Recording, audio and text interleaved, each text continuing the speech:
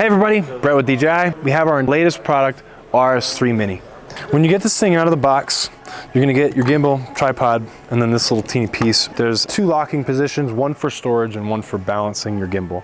So the first thing to do is get these things unlocked and get these things ready for um, balancing. So a few things. One, these arms have uh, locks on them and there are three different areas where they're locked. This top motor, this one, and then this one. So we'll unlock, move it out, re-engage the lock and it will be kind of free floating for a second until you snap it into its next okay. sort of position, like this. So the first thing that we're gonna do is we need to attach our little quick release plate to the bottom of our camera system here. When you install this, try to install it with the camera plate as far forward as you can um, move it. And then just tighten it down using the thumb screw. Now we need to put it into uh, the gimbal body. So where this camera icon is, so we're just gonna insert it from the front into the back. There's actually like safety switches that would prevent this from completely falling loose. We'll slide it all the way back and we'll use this lever on the side to lock the camera into place. The next thing to do on here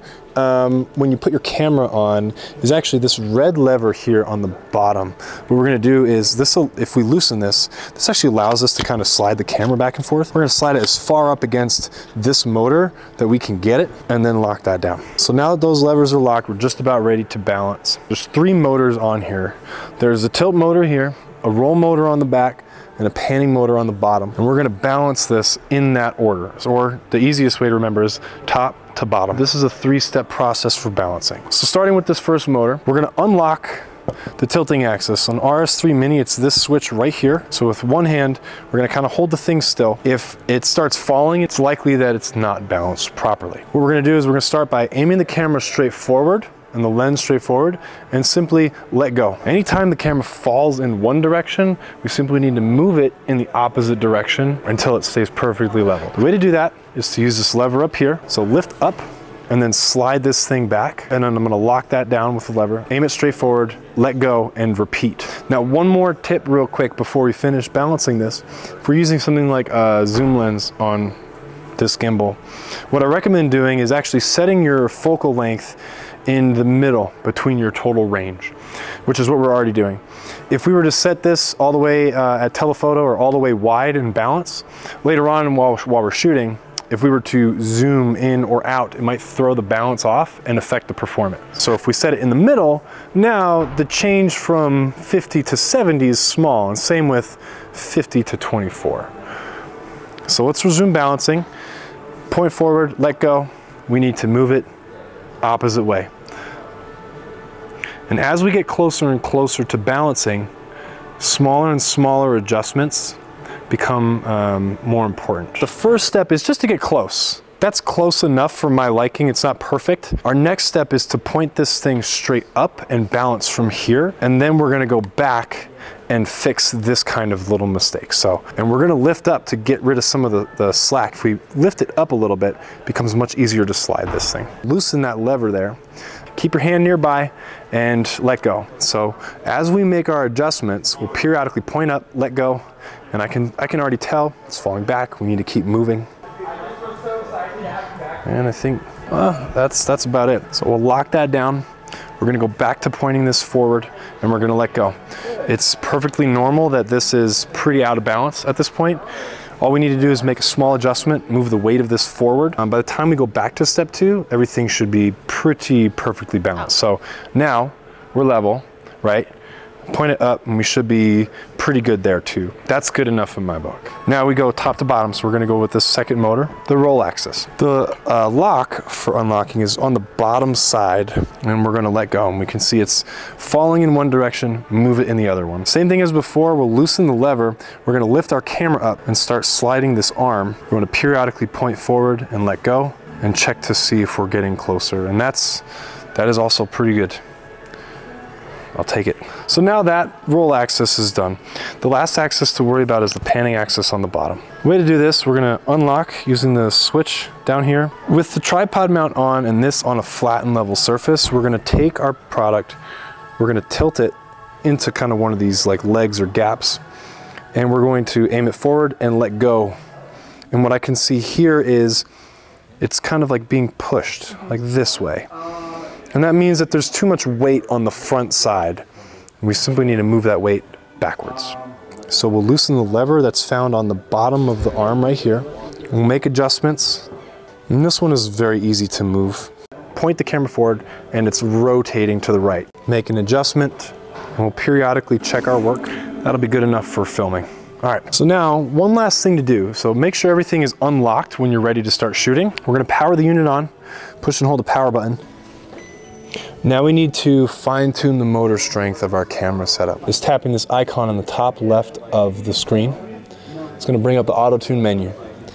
Press start calibration.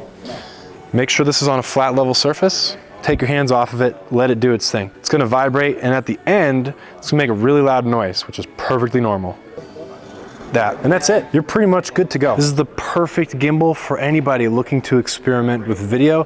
And as you can see, it's got quite the payload capacity. So right here we have the Canon R5 the 24 to 70 lens. So despite its low price, it's not compromising in terms of performance. It has all the hardware included in order to turn your camera to a vertical position, which is fantastic. We are going to lock down each axis so we can get this prepared for vertical shooting. So to lock something down, again, even if it's not in position, just engage the lock and then rotate it into a position and it will automatically latch in, yes. So now what we're gonna do is we're gonna remove our camera from here first. So we do that by sliding this lever loose here. You can slide our camera forward while holding it, push the button to remove the safety lever and our camera's off. So for vertical shooting, there's a few few um, pieces we kind of need to take care of. So the first thing we're gonna do is remove this camera mounting plate. And the way to do that is to loosen with the red lever. There's a safety latch on the back side designed to prevent it from falling off. So once it's loosened, we'll push and hold the lever and slide this piece off. And the next step, this arm down here is designed to come off when you're shooting vertical. So the way to remove this arm is to loosen the arm down here completely. Just for showing you guys, I'm gonna unlock this. On the bottom side, you can see this little switch. So this is actually kind of holding this bar in place. So what I can do is I can pull that switch back to move that piece uh, out and then pull this bar off. And now it's been removed. So now I'm gonna move this back into um, its locked position. I'm going to install the camera plate again. I'm going to install it into this top portion up here where this kind of slot is. The way to do that is um, red lever and camera icon forward.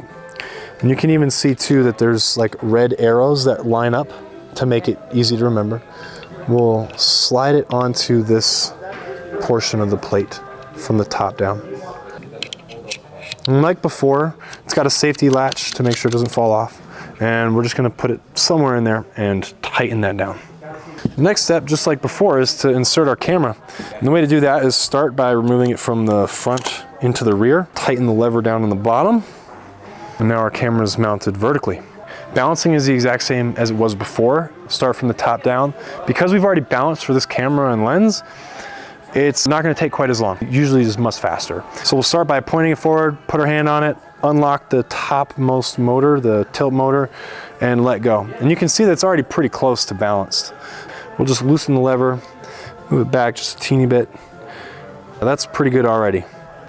Really, you only have to make a small adjustment here, and then you'll likely have to make a pretty big adjustment on the roll axis, and then you'll be good to go. Let's lock that off. We'll unlock the roll axis on the back, hold the camera forward, and let go. And you can see it's falling to the right, it's falling to one side, we gotta move it in the opposite direction. So we'll just loosen the lever, lift the camera up with our hand to kind of make it easier to make our adjustments and check our work. And there it is. That's, that's pretty darn good. You can check the panning axis. So again, you'd point this forward and then let go. Um, there's actually a little bit too much weight in the back right now. So we would simply loosen, move this forward just a touch, and that's pretty decent. Not bad. And once you've done all that, make sure everything's unlocked and you're pretty much ready to start filming. So because we were in standby mode, we'll double press the power button once more. It will re-engage the motors. Now, we're all set for vertical shooting. Yeah, yeah, vertical shooting. Come on down to Pictureline, check it out, get your hands on RS3 Mini. Welcome to the DJI world of gimbals.